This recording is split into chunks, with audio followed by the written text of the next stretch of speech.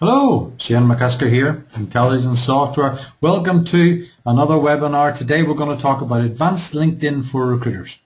Um, we're going to cover a whole range of um, starting off looking at a lot of people, a lot of the time I'm talking about LinkedIn, recruiters tend to focus on trying to find people, but I'm going to start off just by turning that around a little bit and saying, well, how can we set ourselves up so people find us?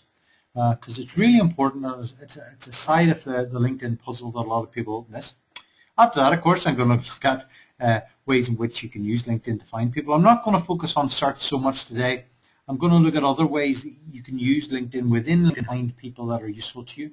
I'm going to look at connections and building networks, and then I've got a few other bits and pieces stuffed up my sleeve just to see how the, the time goes. Okay, I'm going to jump straight in, and we're going to go to uh, LinkedIn. This is my home page. And I'm going to ask the question, first of all, what is it about LinkedIn that allows you? I'm going to run through how you solve this problem. Say I'm looking for a recruiter. I'm just going to do such a basic search here. I'm just going to put it in the people search, top left, top right hand corner, and run and see what happens.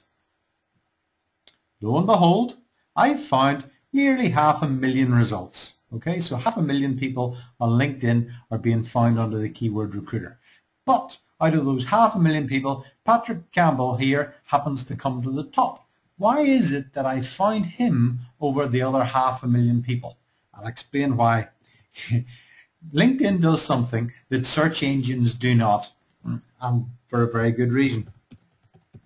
If I search Patrick's page here to see how many times he uses the word recruiter, you'll see I'm just doing a, a search on, I'm using Chrome here, and he has put the word recruiter 1,007 times on his profile. That's why he's coming ahead of the other half a million people on LinkedIn. LinkedIn search prioritizes people who use the word a lot. Uh, now, Google doesn't work that way. Bing doesn't work that way. In fact, that they would see that as keyword stuffing and they would actually um, disadvantage you for trying to do such a thing. LinkedIn doesn't seem to care, particularly when you search for people through LinkedIn, it prioritizes people who use that word more often. Now, use that to your advantage or not, it's up to you, but it does mean if you want people to be found, you need to use the keywords that they will search LinkedIn on uh, and regularly. Repeat the words all the time. Okay, now let's actually have a little bit more uh, look in, in a bit more detail uh, at profiles and how they work. Because whilst LinkedIn may value you using the word repeatedly uh, on your profile, generally speaking, when you're looking at a profile, you probably don't care that much. Patrick here has used the word recruiter over a thousand times. Really, Patrick, your, your profile may look good to LinkedIn, but it doesn't really look good to anybody who's looking at your profile. So from a person's point of view, let's break the profile down and try and make it a little bit more attractive and include things in your profile that you want people to stumble upon and, and, and, and react to. I'm going to use my own profile for this. Um, not that I'm holding my profile up as a, as, a, as a fantastic thing to look at, but I'm just going to highlight a few issues on it. Okay, first of all, my name's at the top of it, fair enough, and it says Intelligence Recruitment Software. That's a heading uh, it doesn't tell, it's not based on my current employment. I've put that in and you can go in and edit it and you can see that. That's important because Shane McCusker Intelligence Recruitment Software appears all over LinkedIn. Anytime you hover over my name or profile, it's going to be your name and this opening caption. The opening caption should have some sort of call to action. A lot of people put email addresses in there, put mobile telephone numbers in there. That's fine. I think it's important to put some sort of strapline that explains who you are and what it is you do. I've also got uh, below that a summary. And this is one thing that I do, and I, I, highly recommend it. Within your summary, include in fairly clear detail your contact details. Because uh, whenever you put contact details into LinkedIn, LinkedIn tends to hide those if you put it in the, the contact section from your people that aren't related to you. Now, that doesn't really work well for me. I want people to be able to find me if they're looking at my profile. I want to make it easy for them to make contact with me, so I put those contact details in there. There are contact details in the main section. Um, and notice how with the websites in particular, mine says intelligence software, Shane's recruitment blog and Twitter. Now, whenever you set up your profile, it gives you options. I'll show you this. Let me, let me just edit this information. Edit my profile and I'll show you how this works. Edit contact details. edit my websites. You'll see that Twitter allows you to create websites as being personal site, company site, blog. Never choose any of those, always go for other. Because when you choose other, you can put a title in. And that just makes it so much easier for people to identify what website it is they're actually clicking on. Some of the other stuff in here, uh, Obviously, it's a case where this is, uh, I should mention this in front, my profile is 100% complete. Again, if you want to be found, you need to have 100% completeness on your profile. That means you need employment details, education details, you need references, you need skills. You need other stuff that LinkedIn tells you that it needs. If in any doubt, click on the improve your profile and it'll tell you what you're looking for. But given that we know that LinkedIn fires off keywords and using them all the time. You'll also see that I've got keywords stuck into a specialties option here. I've got uh, within the employment history, I've added in tag words in here that people go searching on, including my own name, and that'll appear in all the, all the sections. So I need opportunities to put keywords in. I've also added a few extras in here, which applications, you can add a whole lot of different applications into a profile. Let me just show you this again. I'll just go and edit my profile one more time. If I go add sections, look at all the different sections you can add into your profile in a second. You've got uh, courses, honors, languages. You can choose to include these or not. Uh, you can add applications in. You can link to files. You can link to your blog pages, as I have. You can put polls. You can all all sorts of different things. Play around with them. They're quite limited. They're, you know, some of them are useful and some of them aren't. I don't know if I'd advocate it, but advocate it if you've got something useful to say. It's a way to put something in that's a call to action and is well worth looking at. So go on and explore that and, and, and beef up your profile. Okay, one other fairly critical thing is that you've got two profiles on LinkedIn. You've got your LinkedIn profile that when you search LinkedIn, you can see to varying levels of completeness depending on how close you're related to somebody. But you've also got a public profile. And the public profile is available through search engines can see it. The whole, you don't need to be in, in LinkedIn, a member of LinkedIn to see it or have an account with LinkedIn. And so what I'm going to do is just on the edit page, I've got this URL, uh, uk.linkedin.com forward slash in forward slash Shane McCusker. This is a vanity URL. I'm going to edit it, press the edit button, it brings me in to edit my full public profile. You can choose which bits, I pretty well ticked everything here, are visible publicly. I've also said make my public profile so I don't hide it. You can also customize the public URL. So this link, Shane McCusker, goes uk.linkedin.com forward slash in Shane McCusker. So I can change that to be whatever I want. Bear in mind, Google looks at uh, URLs and values them. So I want to optimize my profile against my name, therefore my name's in my URL. What I can also do from here is I can create a profile badge. So if I want people to connect to me, I can put, take a badge, I can take, this is HTML code, I can copy that, I can put it onto my web page, I can put it onto the footer of my emails, you can include it in anything promotional you send out, so you put a job ad up, put your view my profile on LinkedIn, and you drive people to your LinkedIn page to encourage them to look at your profile, connect with you, and uh, take advantage of the network that you can build up through LinkedIn. Okay, a couple of other things. I'm just going to go back and I'm just going to randomly somebody's page and hopefully I'll get a, a good one that's going to share another point. Some of the things that, it's all very well people finding you, but let's turn this around and say, okay, now I want to have a look around and see, right, what about me finding people? Now, obviously, you've got this people search up at the top. I would highly recommend you ignore that more or less most of the time and always click on advanced search and go into advanced search because there's a whole lot more you can do there and it's a much more accurate way of finding people. But let's assume that you've found some people You've created your list and that's your first iteration. Now you want to build on from this. So what I'm going to do, I'm just going to click a, a profile here and we'll have a look at it because there's a few other bits I want to point out. When you find somebody that's close to what you want, so let's assume that Owen here is somebody who's close to, I'm going to scroll down and on the right hand side of his profile, uh, you usually get this viewers that are also viewed. You don't always get it because people can switch this off. I'll show you where this is. If you go into your settings panel, drop down your name, hit settings, you're in here. And you can turn off uh, whether people see your um, uh, viewer, viewers of this profile also viewed box. Personally, I switch it off because I don't want to have my site driving traffic to other people's sites. I want people to stay on my site, but you can switch it off. Most people don't. That means that whenever you look at one profile, you tend to see other people that are sort of similar or related or, or somewhere around there. So if you find one person who's good and you want to find people that are similar to that, then you can always use this viewers of this profile also viewed section on the candidate on the person's profile results. The other thing, of course, you can do, um, just I'll look for a salesperson. I'm going to break my hat look for a.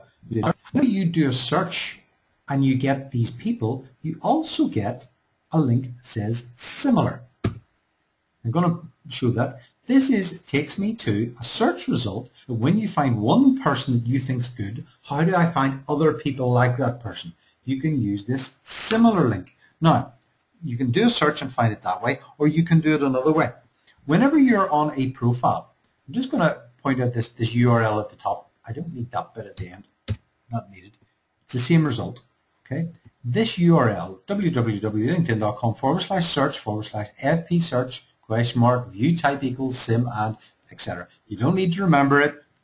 I can post it later on or you can just do the similar search and find it. But at the end of that comes a number. And that number is quite interesting. Whenever you look at any profile on LinkedIn, it always has a number associated with it.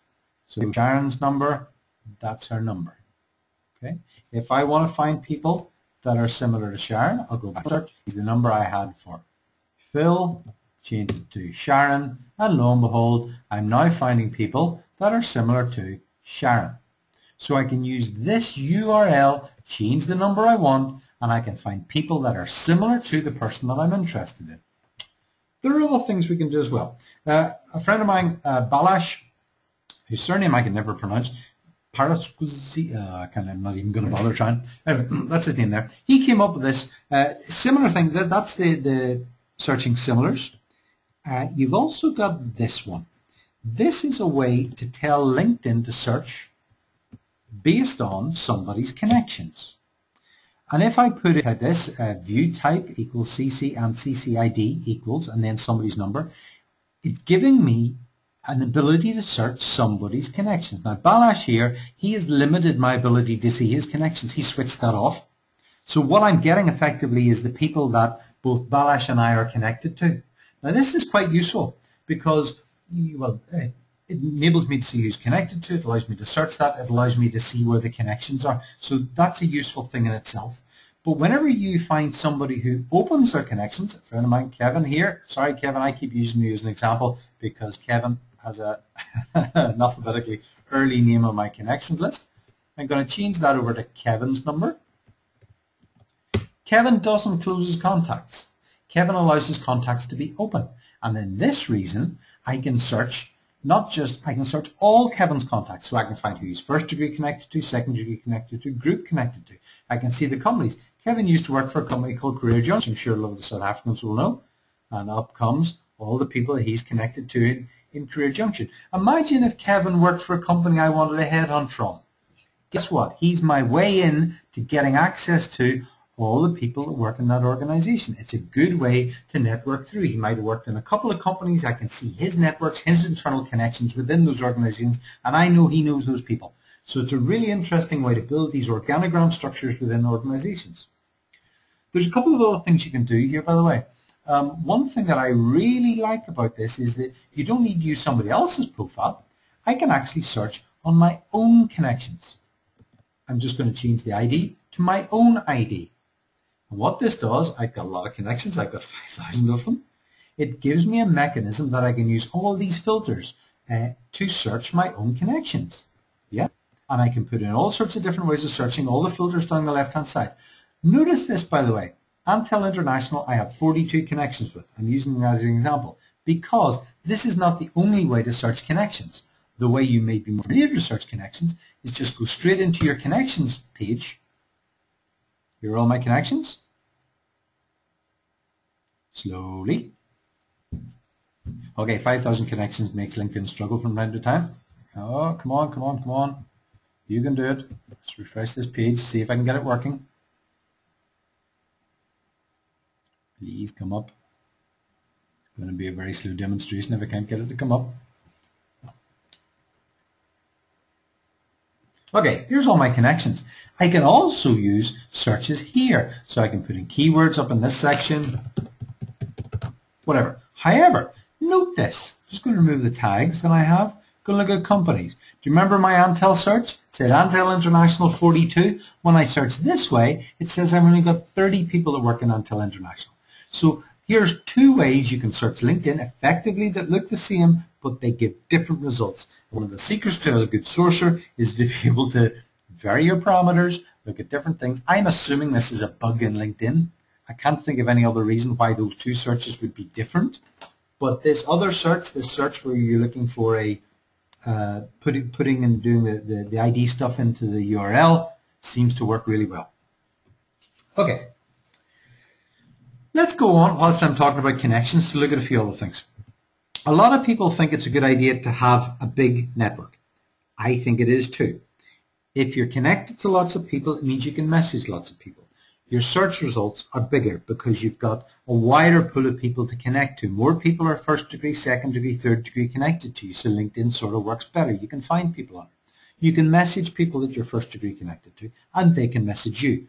Uh, and it's a case where uh, whenever you've got this big pool of people, you can basically do more with it, and LinkedIn works more effectively because that's the nature of, of the way it works. Now, there's a few limitations to LinkedIn. LinkedIn, there's a theory, a maximum supposed limit of 30,000 people, 30,000 connections on LinkedIn. However, uh, according to that uh, keyword thing that we showed with Balazs, uh, when you look at people who've got open networks, some of them who are big connectors have more than 30,000. So that sort of implies that LinkedIn's rules saying you've got a maximum connection of 30,000, that doesn't quite work. There are other people out there who've got more than 30,000. Another thing is LinkedIn limits the number of people that you can invite to connect with you. Theoretically, it gives you 3,000 connection invites. That may sound like a lot, but I'm going to show you in a minute it's not. However, once you use up those connections, all you have to do is email customer service on LinkedIn and say, I've used up my connections, I'm an active network builder, can I have some more? And they will send you more. When you do that, however, always ask them, you'll see that you've got outstanding invitations. I can see the invitations that I've sent out. Always close those off because if you say to LinkedIn, LinkedIn just press a button, just remove them. You can have thousands of invitations. You ask them to remove it, they will just remove all the outstanding ones. Because there's a big problem when you send out a lot of invitation requests. If too many people turn around and say, I don't know you, then LinkedIn will bar you and it will prevent you from linking to anybody else unless you know their email address. For a long time this was a problem. For a lot of recruiters, you know, you only have to invite a few people and say you, you don't know them, you find them on LinkedIn. I'm a recruiter, I'm recruiting for XYZ, would you be interested? And say, I don't know this person, and you get barred from inviting people to LinkedIn. This is a major problem. However, apparently now is the case that you can you can solve that problem if you clear out the sent emails and then ask LinkedIn to clear them out. Once they clear them out, it's an automated process. Apparently, the um, you you can you can uh, once again connect to people without having to know their email address. So I haven't tried this myself. I have never been barred from LinkedIn from sending. I got a few few warnings, uh, but generally speaking, that hasn't happened. Uh, and so this appears to be a way that we can now solve this major problem with people that were over, overly enthusiastically inviting people. So armed with this knowledge, how then do we invite a lot of people? All of you should have big databases of candidates. So therefore, I'm assuming you should have big lists of email addresses. They may be people you know, they may be candidates in your system.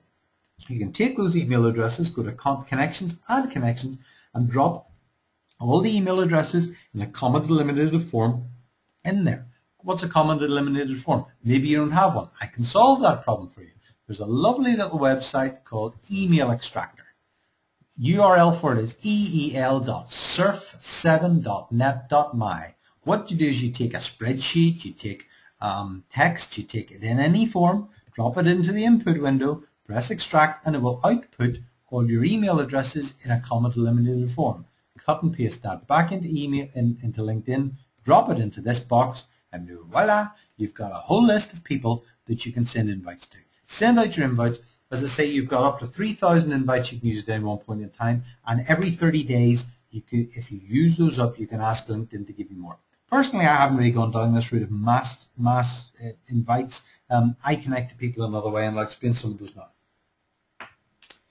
Okay, another thing, another URL you might be interested in looking in is this one. Oops, this one. LinkedIn.com forward slash people forward slash PYMK. People you may know. And LinkedIn will actually suggest people to you that are out there that are usually second degree connections that it thinks you should connect to if you know them. Uh, and you can see that it's giving me some people. Anton here, uh, I amazingly share over 1,000 connections with Anton. That's 20% of my connection pool, so that man must be massively well connected. Um, if you scroll down this list, it's a big long list. It doesn't look it, but it is a big long list. It'll give you lots of people. Just every so and go through the list, see if there's anybody there you think, oh, I could connect with that person. LinkedIn has a tendency to give you people that are good connectors. So you can see that most of these people I share a lot of connections with. And if I share a lot of connections with them, then chances are they'll happily enough connect with me because LinkedIn will tell them that it's sharing connections with them. So that's quite a nice way, just building your network, just passively inviting people. Um, whenever you connect to somebody, I'm not going to connect with this individual, you have a standard message that says, I'd like to add you to my professional network. I would recommend that you don't change that. Uh, if you've got a specific reason to connect with somebody, by all means say so. But if you don't really have a specific reason, leave it as it is. There was some research carried out by my, my friend uh, and compatriot for True SA, Bill Boorman, Uh, he, he sent out a pile of invites. All, some of them were personalized, some of them weren't. He did the analysis on it and was getting a much better response rate for the ones that were standard. And I suppose the, the theory being is that um, people will happily connect with you um, unless you give them a reason not to. And if they think you're going to spam them or you're overly enthusiastic or you think he doth protest too much, then chances are they won't connect with you. So a standard message seems to be quite effective in asking people to connect with you. However, the main mechanism that I use to connect with people is groups. I love groups, as I'm sure some of you may well know. I'm a member of lots of them. Um, I set up two groups in the South African sphere. One's called South African Recruiters and the other one's called South African Jobs. And one of the reasons I did this was because groups allow me to build my network. One, it allows me to post stuff up there. Um, and whether I own the group or not, it doesn't really matter. It allows me to put stuff up there and be seen by people. And if people see me, then I can connect through that. Groups are a fantastic way to search for people. You can look at a member section of a group you're a member of and you can search for the membership. Ignore the, the, the, the, the basic thing. Always go to advanced search and lo and behold, you get all these lovely filters down the right-hand side. You can do keyword searching and you can add filters onto them. So it's a really useful way to be able to search groups. Uh, we showed you before, by the way, um, there are ways and means that you can uh, take the, the, the, the, group IDs and change those uh, so you can actually search uh, for groups that you're not a member of. I've done that in previous webinars, so I'm not going to reiterate that today. The other mechanism that I use, because I run some of the groups, whenever people join a group or request to join a group, they get it, automatically get an email from me. And in fact, they actually get two. They get one when they when they join and one when they're accepted. Now, anybody who gets two emails from me in quick succession then very often gets a, a request to connect, and therefore very rarely do they say they don't go on to connect, and in the vast majority of cases they do connect. So I use the groups and people joining groups uh, as a way to connect with them. Uh, initially, I started the group, which was South African Recruiters, and that was really to create the people that I wanted to connect with, which was the recruitment industry, give them a forum that's a lot of people connected to, and that was great. But I realized there was a lot of people who were recruiters who didn't want to create connect to a recruiters group because that wasn't people they dealt with. So I set up another group called South African Jobs, which is really there to appeal to people that recruiters are interested in. So if I set up a group that recruiters are interested in, it gives recruiters a way to post jobs without any cost it builds up a big network. I'm a neutral vendor, so I didn't have any axe to grind or, or, or not considered a competitor, and therefore recruiters join that to post jobs. And it's a way that it's, it's really building up. It's only been going for a few months. We've got about 2,000 members of it now. If you're in South Africa or want to recruit in South Africa, join the group and post jobs on it. The jobs uh, will be seen internally by the group members, but it's an open group, so the search engines see it. It's a really good way to get SEO and encourage people to, to view your jobs through search engine because let's face it, LinkedIn's going to be bigger than any of our websites. It's a lot bigger than any of the South African job boards. So it's going to create good SEO and have a lot of presence on the uh, on the internet whenever you're trying to, to, to see jobs. Okay, um, that's about it for today. Um, if you've got any questions, please feel free to post them onto Twitter, and I'll ask, answer those now. I'm just going to pause.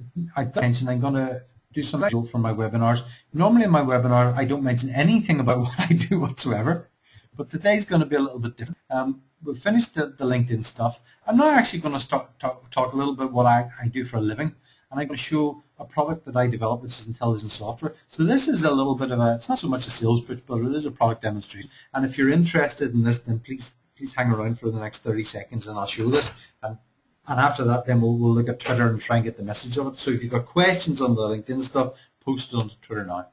Okay, what I do for a living is called Intelligence Software. A long time ago, I used to be a recruiter and faced with the frustration of having thousands of people for companies employing people and only ever making a handful of placements. I wanted to try and help recruiters work in a more effective way and make more placements.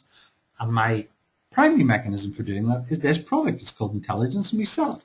If you're interested in buying it, then please come and talk to me. Uh, but the way that it works is about trying to give you visibility of what goes on. So I'm going to give you a quick overview. We try and keep it as simple to use as possible. So if simple to use and you've got a tidy desk, you can see what's going on. You've got a candidate screen. Easy, gives you profile information about the candidate, where he works and what he does. You've got a CV. You can open up the CV with one click and you've got all your contact information at the bottom. The other half is a client database. You've got all your companies here. You've got the people you know there, all the jobs you're working on every time you speak to somebody. When you've got a job, you do a search. It could be automatic. It could be manual. You want to the search, you've got a shortlist. Here's my shortlist. Bottom right. And a name brings me to Anne's record. Brings me to Edward's record. All the tick boxes work me through the process. Tag them if they're useful. Reject them if they're not. Contact them. They say they're interested. You send a CV, you get an interview, offer, and accept it. So you've got all your information stored here and you've got your applicant tracking system going through. Easy peasy. But less, how do you make more placements? It's all about trying to help you up your game. Spot the opportunities. The red tick boxes on the shortlist. It tells me Phyllis here has already had her CV sent and her and has been interviewed by this client but for a different job. So it stops me making a fool of myself by sending somebody one of my colleagues has sent before. But it means that Phyllis can give me inside information about their interview processes and what it was. Maybe she just was pipped to the post. She's still available. Here's Phyllis's CV. You interviewed her six months ago. She thought, thought she was great. You can cut out the five stages of, of selection process and give her the job immediately. How, how much more professional is that when you're approaching people?